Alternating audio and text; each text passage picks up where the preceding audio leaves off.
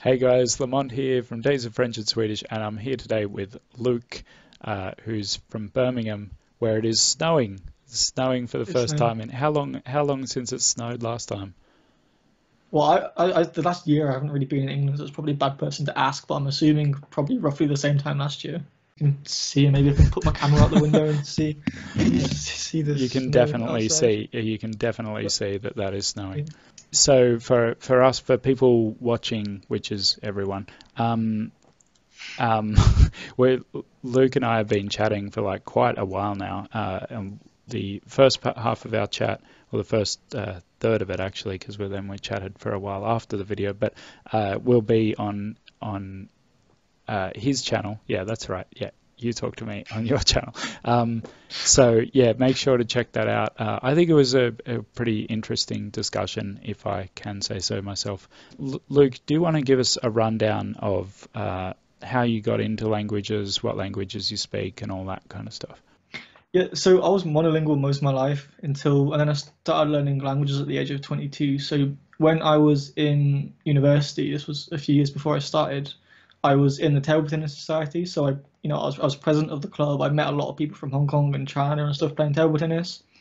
And then after that, one of the girls in the society became my girlfriend. We've we're together now. We've been together for like six years.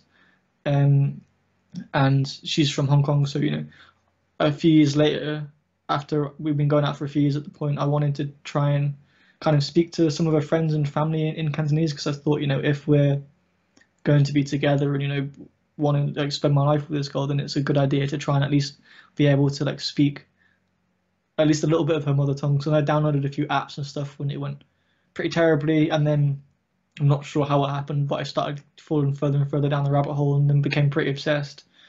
Um, and then I studied Cantonese for about two years, got it to a pretty good level. Um, and then after that, I decided to take a six month break to try and learn Spanish because I was going to Mexico. That was kind of fun. Um, and then I got information saying I'd received a scholarship to go study Mandarin in, in Taiwan. So I kind of dropped everything else and went really uh, intensive on Mandarin. And I've been doing that for like the past year and I'm gonna get the date wrong, probably year and six or seven months or something like that. Or yeah, about, about a year and seven months ish.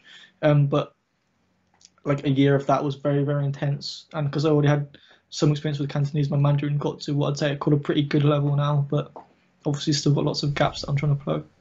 Mm. But I mean, lots of gaps in even even to say like a pretty good level with lots of gaps in uh, a year and seven months. That is like that is turbo speed for for a language like Mandarin. I mean, that's pretty quick for a European language, but um, that like so. Can you tell us a bit about what you were doing in that time?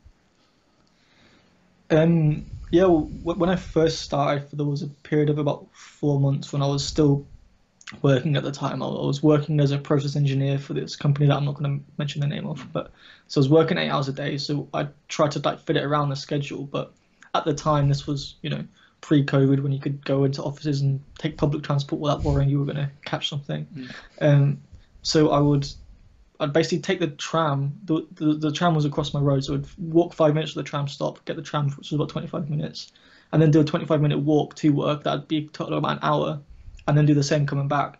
So what I did is I woke up every morning, um, and I started off. I used like some beginner textbook for the first month, just studying the dialogues in this book for like an hour every morning, and then when I was waiting for the tram, I'd do flashcards. When I was on the tram, I'd review the lesson on LingQ or do something like that. And then when I was walking, I'd listen to the dialogues on loop again.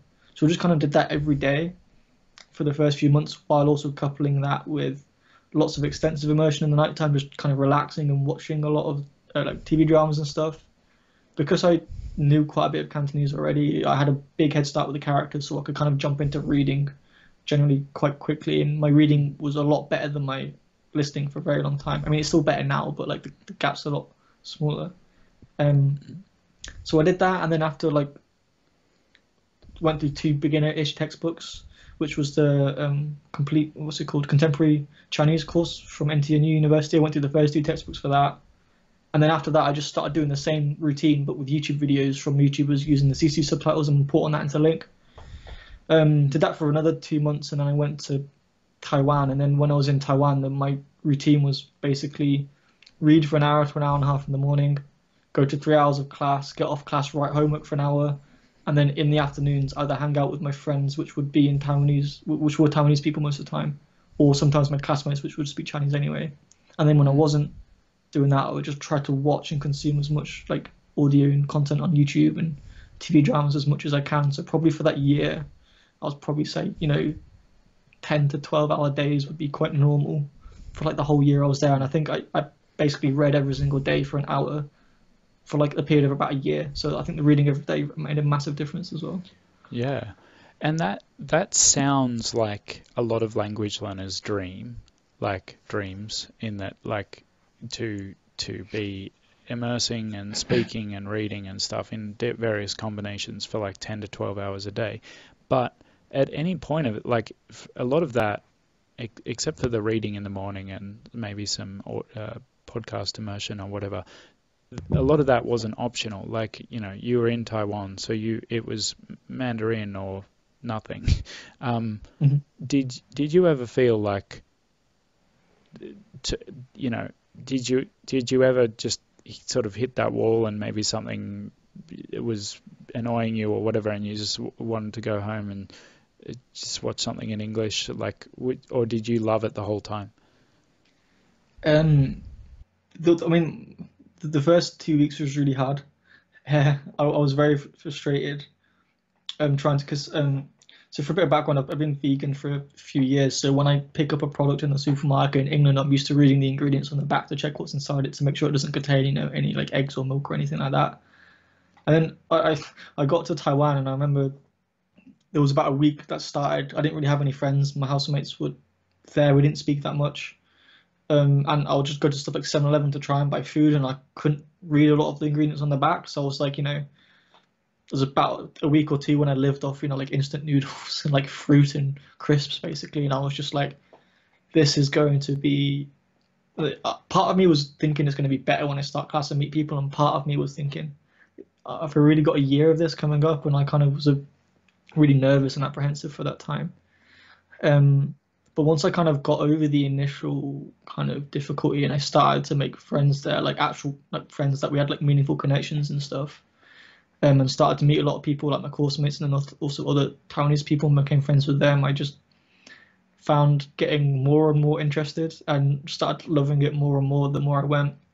Um, there was never really a time when I didn't want to immerse. There was I was trying to do Anki for bits, and there was lots of times I didn't want to do Anki, and then I thought, you know what, I can't be bothered. I'm not going to do Anki, so I just stopped it. And then after that, I found that way more fun. Um, and I think inherently, because what I was doing was all enjoyable things, you know, like reading or watching stuff or speaking for most of it. Um, I, I, I found it quite enjoyable. There was a few times when I got fed up with the homework and the grammar drills and stuff that I was just like, this is just pointless. Why am I wasting my time with this? And just like rush it and then go do something else. But um, yeah, I think that the thing that made me difficult sometimes is a lot of the time when I was in class, I was surrounded by Japanese people because you know there was a time when like say eight students in the class, five of them were Japanese, and they'd always speak Japanese in their break. So then I was like trying to fight the edge in my brain to try and learn Japanese when I was there.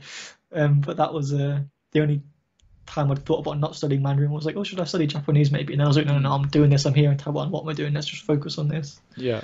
Um, yeah. So yeah.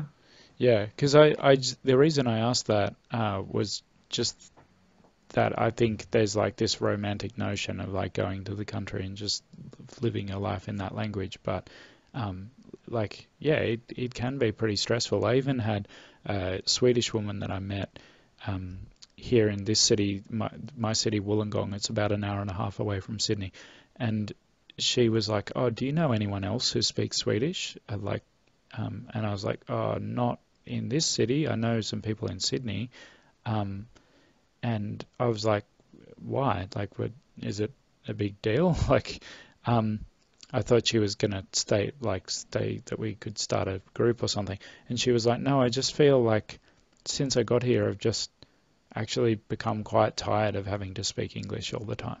Um, which is like a, that's a big statement coming from a Swede. Like you know, they speak English. Most of them speak English extremely fluently, but and she was saying like you know, it gets pretty tiring. And like, you know, her Swedish would have been better than your Cantonese, uh, Mhm. than your Mandarin, sorry, um, at the time. So her English, sorry, would have been better than your Mandarin. You get what I'm saying?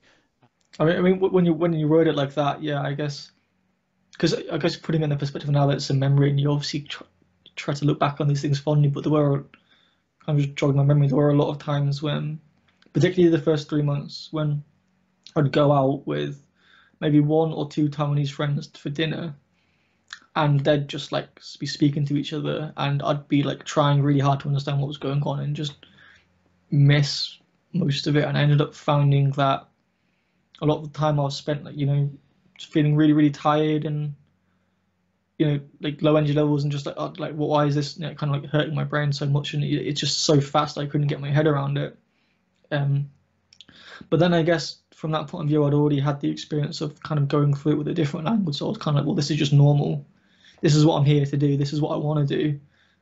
It's still pretty cool that I'm hanging out with people. So I kind of just like slogged through there were times when I kind of was like, oh, I can't be bothered to go out for dinner. I'll just kind of stay in my home and watch TV a bit more. But um, yeah, I, I think there were, there were times like that, and I think when that happened for me, I tended to try and also try and see if I could get situations when it was just me speaking to one person as opposed to like two or three. Yeah. Because for me, that one of the hardest things is when I've got I'm at a table. It's, it's really noisy in a restaurant. There's lots of background noise, and there's maybe three or four people speaking in the background, and they're all shouting over each other and interrupting each other and stuff.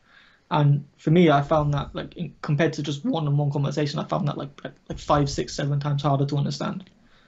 Totally. It's not just you. Um, it's even just two, like even in like a sound studio, two natives speaking to each other is like a very different thing to natives speaking to you. Even if they speak to you at the same speed, which they probably don't, um, there's still just like a lack of context and like you don't get the same like you know uh, ver- non-verbal cues and stuff because they're they're giving it to each other, not to you. Mhm. Um, so yeah, that's like, and then when you add all the, the extra sound and stuff, it's actually cra I'm constantly amazed by how much decoding our brains do in our native language when Yeah. like this person can say something over here and then someone says like what's that movie with you know Sandra Bullock and George Clooney or something and you're like gravity and then you like keep talking like like you know and it's that like anyone can do that in their native language. It's a it's crazy how much stuff is going on in your brain without you realizing it. So Mhm. um, yeah doing that would be exhausting. But you said like had you ever been to Hong Kong? Had you had that experience in Cantonese? Or Um, so I have been to Hong Kong for, for two weeks. I went on holiday with my girlfriend. Um, Mhm.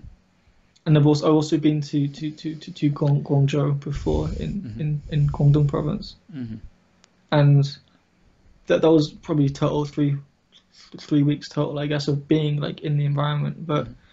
when I was with in Hong Kong, I spent most of the time speaking to my girlfriend, and she, because I was at the time I was quite heavily influenced by uh, Benny Lewis, so I kind of did the challenge of I'm going to give up on speaking English for two weeks. So I spent a lot of it speaking to her, and her and one other person, maybe a parent or maybe you know, like one of her friends or something. And I I, found that uh, to be okay because it was a lot, of- most of the time I was just speaking to her, and she was obviously simplifying a lot of it for me.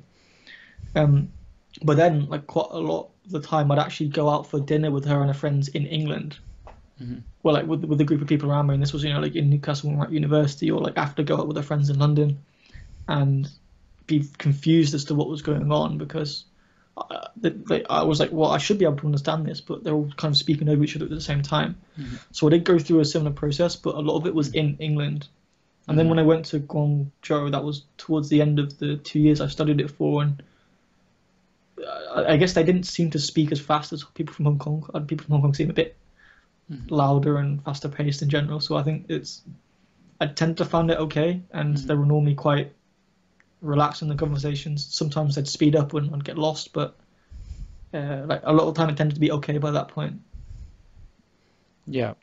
Okay. And so what, like, you've now, you- you're saying that now that your Mandarin is better than your Cantonese, um, Yeah. because of that, like, 18 months of like pretty heavy a year of heavy heavy immersion.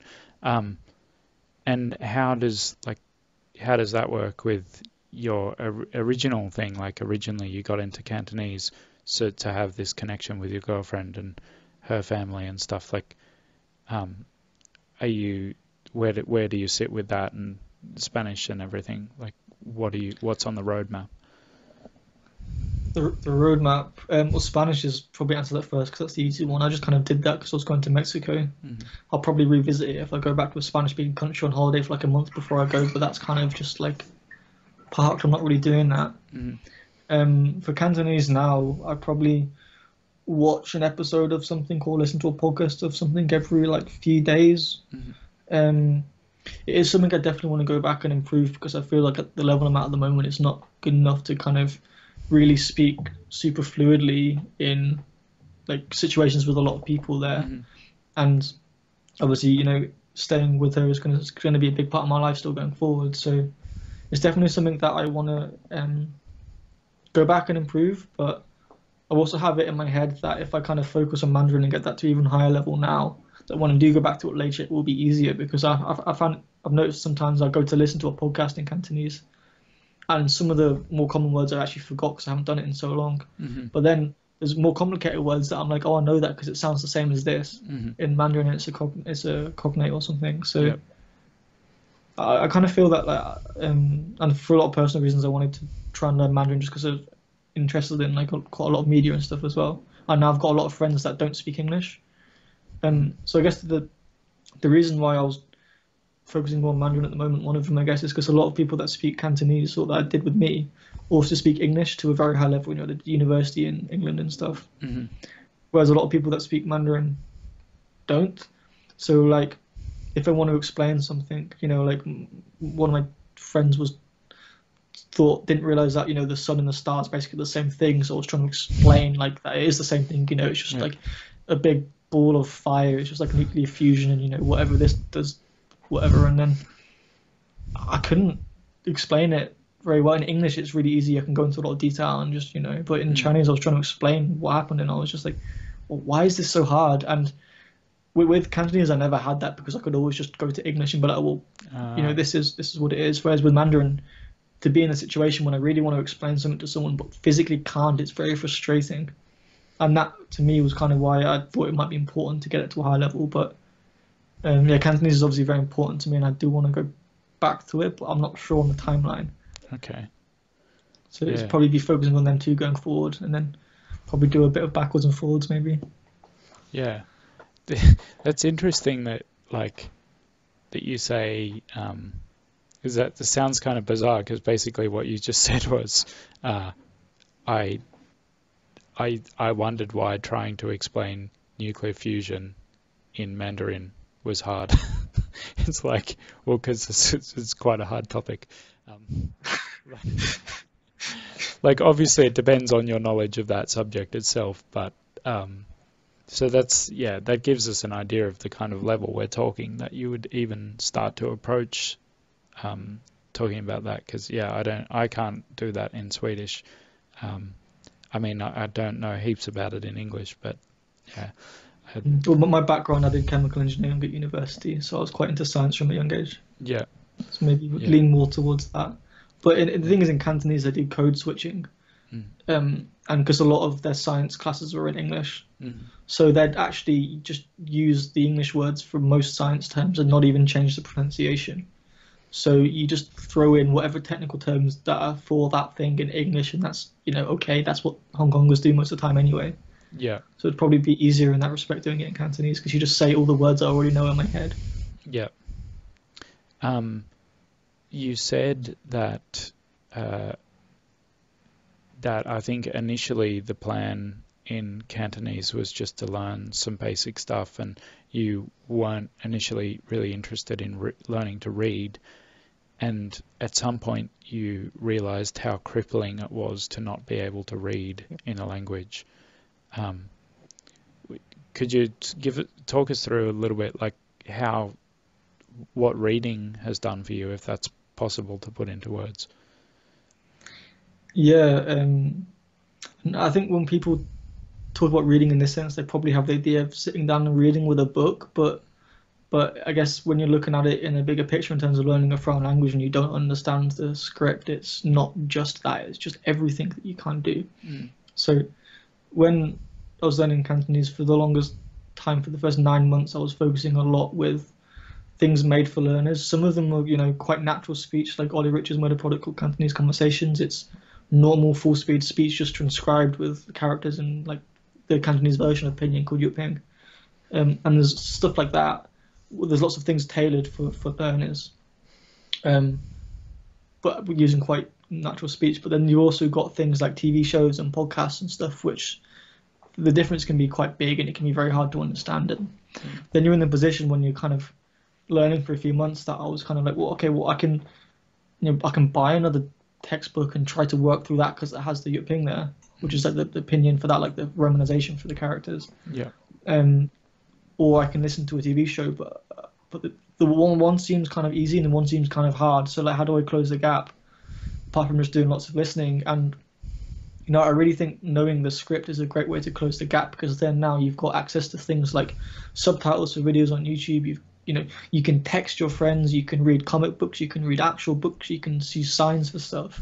So for me, trying to learn a language to a high level and acquire the same vocabulary to an adult without being able to like without being able to do something as simple as texting, mm. it, it will be very hard. And other than just you know building up conversation skills, the idea that if you want to actually integrate into a group, but you can't like read and write their language is just absurd. Like even if I could do all that stuff to a high functional level on the spoken side, well, I couldn't even text my friend and say, "Hey, do you want to go to the pub now?" You know, mm. you can't. There's no way of organizing stuff unless you switch to English. So I really feel that like if you want to be an actual useful member of a group or integrate into a group, you kind of have to learn the characters. And even when I was in Taiwan, there were some expats that could speak okay, um, but couldn't read and write. And then they got added to like groups online for organizing stuff, and they had no idea what was going on. They were like, "Oh, look, what are they talking about?" Because I don't understand this. So I think there's lots of limiting things in terms of language learning and getting up your spoken ability, but also other than that, there's also lots of things of just not being able to function in a group that can get quite frustrating. Yeah, and and then there's just little like um, nice to have. So like yeah, to give to give an example of the same kind of thing that you're talking about. So um, I'm on the mailing list for this like um, uh, Swedish guys in Sydney um, group that just like hang, just go to the pub every now and then kind of thing, and they they say like they'll send out emails with like the meeting place and um, you know the time and like if there's like a booking fee or whatever, um, and like all all of that's in Swedish and there's like there's no rule. The the the group isn't. I mean, technically, I'm breaking the rule by being there because I'm not actually Swedish, but like the there's no rule about speaking Swedish. I've heard people there speaking English because like some of them are, have lived here for like 30 years and they don't really remember Swedish that well and stuff. But like all the emails are in Swedish. Um, like there's, you know, you, you could do it in English, but like you said, it's uh, hard to integrate. And then there's like in movies, um, even if you could understand the spoken language perfectly, um, there's a lot of stuff like in certain kinds of movies, they'll have like stuff written that like mm, like, like just, road signs or yeah, just yeah. things in the background that they know what it means. Yeah. Yeah, and like and you don't. Yeah, like people looking stuff up on computers and they see a headline that says like you know um, like rob great heist in London or whatever, and it's like you you're not gonna know what that that was because you can't read. Um, but I, Yeah. yeah.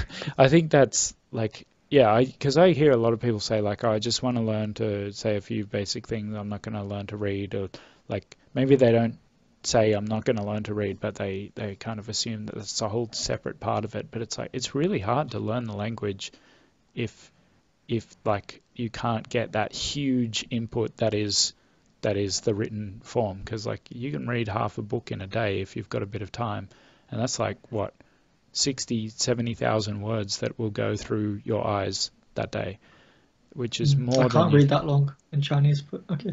Oh, yeah, well, maybe. Yeah, it's. Uh, I've been. Maybe it's a bit I different. normally in- get tired after an hour to an hour and a half tops, but Yeah, I my, my record is like two weeks for a book, but that's still pretty slow. yeah, it's uh, it's obviously a bit uh, easier with with uh, language related to English. Uh, my record for one day, I think, is five six hours um, wow, reading. But yeah, and I think that's I've impressive. finished the whole book in maybe four days. But like, I've that's pretty rare, and um, and yeah, it's Swedish. It's not it's not the same. um, and so have you- have you had this? Uh, you you said that like you stopped doing Anki when you were in um, Taiwan, just wanted to enjoy the what you were doing and everything. Did you ever have you ever felt like um, I think this was in the questions I've sent you. Sorry, I've, I know I've asked you some questions that I didn't actually um, tell you I was going to ask. Have you ever had this experience where like when you let you kind of let go of trying to catch all the sand like going through your fingers like you just go okay i'm i'm in taiwan. I'm gonna hear the language. I'm gonna learn it. It's fine. Like i'm not i don't need to pick up like every little word. Did you ever feel like that then suddenly took your learning to a new level? Or did you ever have this kind of peak experience or something where you were like whoa my my mandarin just hit a new high Yeah, I think in terms of trying to capture all the grains of sand falling to your finger, so to speak, is probably quite a good analogy. I think when I was learning, um, I'll just start with Cantonese probably first because I, I, I'd kind of ironed a lot of concepts out in my head because it wasn't my first time trying to learn a foreign language. Um, so when I was doing Cantonese, a lot of the time I'd watch a TV show and like, you know, I'd, I'd like rewind the same line and like go through it a few times and try to understand a lot more. And then, you know, Mm. what does the word sound like and so on. And I found by the time I got through an episode of a TV show, if I even finished the episode, I was so tired, um, and I just couldn't do it again. So I just went and watched something else in English after that. Whereas after a few months, I just kind of was like, well, I kind of got used to not understanding everything, and kind of rewatching shows I'd already seen once before helped a lot, and kind of accepting the noise. Hmm. Um, and when I started doing that, I started, you know, generally exposing myself more, and then I felt like my progress picked up. Um, with, with, with Mandarin in Taiwan, I think there was a time when I was, you know, I was there like I'm very, I'm, I'm going to Taiwan to learn Mandarin. So I was, I did a few very weird things when I first went there. I was, I spent probably not a lot of time doing Anki, maybe half an hour a day, but I was like, you know, I'm still grind, I've got to grind up vocab because it's helpful. Um, I did, I did had this concept in my head, whereas if they're not Taiwanese, I don't want to be friends with them. So I didn't speak to my roommates or my course mates really outside of class for like the first three months I was there Mhm. um, and I was only trying to be friends with Taiwanese people. And then about halfway through, I kind of was like, you know what? At the end of the day, I've the rest of my life to learn Mandarin. I've only got one year I can go here, so I want to try and have as much fun as I can. And then I started, you know, going out drinking with my Japanese course mates to clubs or bars, or you know, going bowling or going hiking with my friends, or just doing anything that sounded fun. But then, because of that, the amount of time I was engaged in using the language and actually enjoying spending time with it, like my experience became like for the last six months so overwhelmingly positive that I just, you know, I think it just made everything kind of so much easier to just kind of enjoy it and just spend the time on the language. And then my progress like sped up by quite a lot. Mhm. Um, I think when I stopped doing Anki, my progress actually sped up by quite a lot because instead of trying to like hammer on these few phrases or whatever, I just you know let it go and just expose myself so much. Um, but I think that might, I'm not sure if that was only the case because I was spending so much time in the language or because Anki is not that useful inherently, and I kind of question the use of it sometimes because there was lots of times when I sorry about the dog in the background. There was lots of times where I um, studied a phrase in Anki. I knew I studied it in Anki, and I came across it in like a book or a text, but I forgot what it was in, in the new context, and I, I I know I got the card right, but then outside of Anki I got it wrong, and that happened to me you know quite a few times, and then I you know I just thought well if I just keep going I'm going to see the word eventually again and just kind of not worry about it too much, and I think the idea of not worrying made it a lot easier to just kind of relax and absorb content. Yeah, but like, how were you? Okay, so you studied Cantonese first, and that shares a lot of characters with Mandarin. Um, Yep. I, I feel like, I mean, having not studied uh, an Asian language, I I've always felt like uh, I can kind of get away with not using Anki, but I've always just assumed that if you want to learn to read in uh, in Mandarin or Cantonese or Japanese, um, then you'll need to use Anki. Uh, like, how were you able to build up a vocabulary, a reading vocabulary with a when I was when when I was doing Cantonese, I went through a book called so happy here. Oh, uh, coincidence. Remembering the Traditional Hanzi by James Heisig. And if you watch a lot of Japanese YouTubers like Matt versus Japan, for example, they always talk about remembering the tradition, remembering the kanji or RTK. Yeah. It's basically the Chinese version of that. Mhm.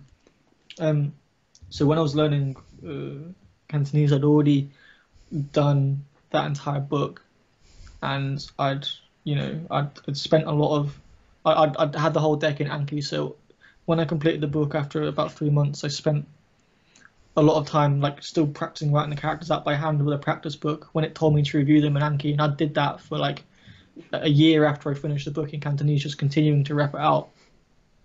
And then when I went to start with Mandarin again, I'd already, you know, like the, most of the characters are the same, so a lot of them I'd already written out like a few Mhm. times before. And Mhm. and then when I went into class and we were, you know, having to memorize vocab and writing them for like uh like dictation tests and stuff, we were having to like write answers to like grammar questions and like we were having to like even in the end of the time in Taiwan, we were having to like do handwritten essays on different topics of stuff. So we spent a lot of time writing as well. And a lot of the time I'd forget how to write it and then look up the character and be like, oh, it's that, and then have to write it again. And I kind of feel like the the the writing and stuff helps a lot Mhm. to kind of make them more clear what they look like in my head. Um, just a lot of memorization, but also I did Anki a lot of the characters like a long time ago, and it was just kind of refreshing them again. Yeah. Um, so when when I quit Anki at first, I did kind of just stop adding new cards and just continue for that for a few months, and then Mhm. later I was just kind of like the reps I was doing per day was so low. I just thought I'll just I'll just delete the deck and Mhm. not do it anymore. But I think by the time that got to that, the base was already there. That you know I could only I can already read quite a lot, and I'm still reading a lot of time. I spend a lot of time every day reading that it doesn't need it that much. So Mhm. the way I look at it, if I read a book in Chinese now, um, there's so much natural repetition across the period of a book that this, if, if I come up against a new word at the start, so for example, I'm reading a, a, a thriller a kind of fantasy book now, and the word for vampire came up at the start. It's come up like at least a hundred times in the book, so I can I know what it is. I, I like you know it's not hard to recall at this point because I've seen it so many times. Yeah. So, Yeah. so there's a lot of natural repetition built in anyway. Yeah. This is not not a bad thing, but it's going to sound like I'm being insulting, but I'm ex- totally the same. It, it sounds like to me that like you're quite obsessive. Um, A little bit. because yeah, it's uh, like m- most people would not like. Uh, I think a lot of people who were put in a in a uh, that kind of um, situation in Taiwan would would maybe be the sort of person who would do a similar thing. But I think most people would not like try to like do things like not talking to their roommates initially. Even if you stop doing that later, it's like to even make that decision um, at the beginning and and just to, to take Cantonese for the first your first foreign language as far as you did. Um, I think it's a, like something people want to do. Like they go, oh, I want to learn a language, but they don't actually realize how much of a commitment that takes. And so most people, when they see how much of a commitment that that takes, then that just dies off. Um, is this like? I'm guessing this is not the first time that it's um, manifested itself. There, there would have been other things before this. Yeah, um, I've always had a kind of, uh, I find it very easy to get consumed by like one thing and just want to go, kind of all in on that. And mm. like, there's been various things that did it when I was younger. When I was younger, to be honest, it was mostly video games, which is mm. arguable of the, you know, how useful it is. But when I was little, it wouldn't be uncommon for me to play a video game for like 10 hours in a day and then do the same thing the next day and then go back to school and be like, oh, damn, I wish I was playing that game again. Hmm. And we like trying to, and then when I wasn't playing the game, trying to like thinking in my head, oh, what do I want to do to get my character to get like the better sword or whatever, you know.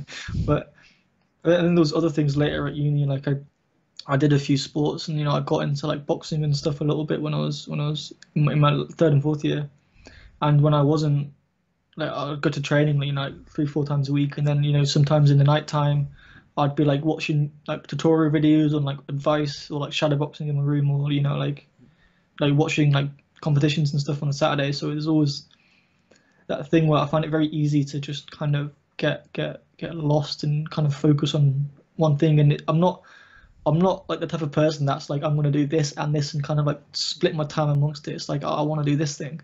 So the reason I stopped boxing was because when I went to move after university, I, I started playing tennis at a local club and ended up playing for about three teams at the same time because they kept on inviting me to join different ones, and I was like, okay, sure, sure, sure. And I ended up playing like three times a week and then going to training as well. So I, when that sort of thing happens, I just kind of go, well, I'm just going to kind of go all in on that one thing, and that seems to be more fun for me. Mm. Yeah, probably my personality, and that's also why I don't like learning two at the same time because I just Yeah. want to focus on the one thing. It's it's totally the same for me. I I think what I find personally really frustrating about it is that it's very hard to control like what thing it is. So it'll be like just like when I'm getting good at something and starting to like actually build that to a useful level, something else will just come along and it'll be Yeah, that like happened to me. it'll just be like right when I'm like trying to get a job in that other thing or whatever, like I'll, you know, I'll, I'll like just have, like I work as a photographer now, and like eight years ago, I was like completely obsessed with photography, would do like anything to make my photos like the smallest bit better. Um, but now, like, like sometimes at work, they're like, oh, you know, you did this wrong on the photo. I'm like, I don't care. and it's like it's really bad. Like I I should actually like obviously I care as much as I need to for work, but like I don't actually like it it doesn't actually draw my passion. It's like if if it's not written in Swedish then I'd, I'd it doesn't interest me. Um and so I'm always Yeah. worried that like it's for me it's very hard to continue this that thing. Like have have you found have you found that like you got back from from Taiwan? Is if you found other things like tempting you to? Not not since I've come back from Taiwan. Um, I, I, I, the biggest thing that was tempting me was when I was in Taiwan and I wanted kind of wanted to learn Japanese for a while, just because I had so many course mates from Japan and I was you know speaking to them literally every single day, and then they'd always switch into Japanese and they'd speak like. Uh, but oh, what's that? And I'd be trying to like, listen to like, oh, can I understand the word? And they'd be there like Nintendo, and I'd be like, oh, I understand Nintendo. From when I was a kid. yeah. um, but ever since I got back to ever since I got back from Taiwan, I started looking um, a lot into like Chinese literature and trying to compile things of stuff I want to watch or, or read, and like looking at like dramas and things and compiling like loads of stuff that look really cool. And then I think I've kind of because I'm I'm always like looking for new, fresh and interesting content. At the moment, it's kind of keeping me engaged and wanting to like. At the moment, it's at a really fun level with my Chinese, where like m- most a lot of stuff has new words in that I can learn, but also a lot of stuff is like mostly comprehensible. Hmm. So I can kind of like pick up, I can kind of jump into a lot of fun stuff, and it's really easy to pick up new words. And the thought of going away from that to something when you're basically like understand next to nothing kind of seems a bit not very appealing to me at the moment, just because it's kind of fun in the space I am at the moment. Yeah. Um, but I know with other stuff before, like when, um, like it, not normally when I try to do like a sport or something, if I if I get to the point where I invest in it and buy like you know some gloves or some skates, that's normally the point where my brain kind of gives up and then goes to something else. So I remember I did ice skating, um, ice, I did ice hockey for about three months when I was in my first semester at university. Yeah. Bought skates and then gave up and did something else just after. That's funny. I wasn't I wasn't going to bring this up at all, but um, uh, I've sort of uh, started getting mildly interested in ice hockey. Um, n not not playing it like for obvious reasons. Like the nearest, I, I I don't think there is an ice rink in my state. Um, um, there used there used to be a big one in Sydney, but I don't think it's still there. Um, but uh, like it it came from like uh, so I was I was saying to uh, you in the video that will be on your channel um, that like there's like a few things that'll lead to me getting interested in. Uh, so um, with ice hockey, like I read this Swedish book called Björnstad, uh, which is which means Bear Town, and it's like a, a, city that is like obsessed with ice hockey. And then I saw the series of it, um, and I've been reading the book slowly and like watching the series a couple of times. Um, and so that has uh, ice hockey in it, and um, and then yeah, there's a YouTuber I follow named Emil Hansius who uh, he like particularly loves this one team that he always goes on about. And like even though like he never actually talks about what happens in the matches themselves but that's kind of put it on my radar. Um, and then yeah so i like i was watching some of the like 20 i think it was the 2019 world cup like S- sweden finland highlights and i was like this would be a really good way like i could probably learn more like I could probably learn the vocabulary and the concepts of the game in Swedish, uh, like so that I wouldn't actually know how to describe the same thing in English, which I think would be kind of fun. Um, then I'm also aware that it's like, oh, it's probably not great to keep to watch heaps of ice hockey because then I'll start caring more about that than caring about Swedish and being like, oh, start watching the NHL, which isn't going to be in Swedish commentary and stuff. Like, so yeah. Um, do you think it's because you buy this stuff, or like, do you think that just always happens at the point that you're also starting to not care about the thing? Like, I don't know. Good question. Um, I don't think it is because I bought the stuff per se. I think it was just that kind of I bought some stuff to do with it, and then you kind of it's about the same time time when the the like romance period or whatever, or the honeymoon period starts to end, and then you start to realize actually this is going to be really really hard. Hmm or like something else takes new and shiny takes my interest away from me. You Yeah. know, and kind of give it up. Um, that only really happened with with ice hockey. I think it did happen with boxing just after, but that's also because I changed environment. I left university. I went to a new town, um, and I did do it a bit then, and then it was kind of there was no one really my height, so all the people I was sparring were like over six foot, and I was like, well, it really hurts when I get punched in the face, so I kind of don't want to, rather not anymore. There's a few other other reasons. Um, yeah, but yeah, I, I don't think it's to do with investing the money per se. Like with, Mm. although having said that, I think I did buy loads of manga in Cantonese. Like, I I thought I was buying thirty chapters. I actually bought thirty volumes by accident because I read it wrong, and and then have a big pile in my room. Got through about seven of them, and then started learning Spanish. yeah, but I mean, So uh, to be fair, you had a reason to do that. Um, on that, and this will be my last question. Um, uh, when so you went from Cantonese, which you've said uh, was uh, a difficult thing about Cantonese. One difficult thing about it is the lack of resources. Mhm. Um, and you went from that to Spanish, which probably like the most or the second most resource-rich language in the world. Um, did you did you ever find that there was a bit of resource overload when? Uh, not not not really, to be honest. Um, in terms of like the availability of like TV shows with subtitles that actually match up, because the, I don't know if people know about Cantonese. There's a spoken written divide, so most TV shows, the or all TV shows, the subtitles are basically written in Mandarin, and then they have the you know the spoken language, which is kind of different. Mhm. Um, so the fact that all the subs matched up, I just kind of found all these cool things, and I started getting really excited and just creating lists of things that I wanted to watch and wanted to read and stuff. hmm Um, the main one of the other differences, I guess, would be that in terms of if I wanted to choose a beginner's course with Cantonese, there was like one or two, and I just picked one of them Mm. randomly, you know. Whereas with Spanish, there's probably at least a hundred. I don't know. There's a lot of stuff out there. But did, Um, did you find that to be a good thing?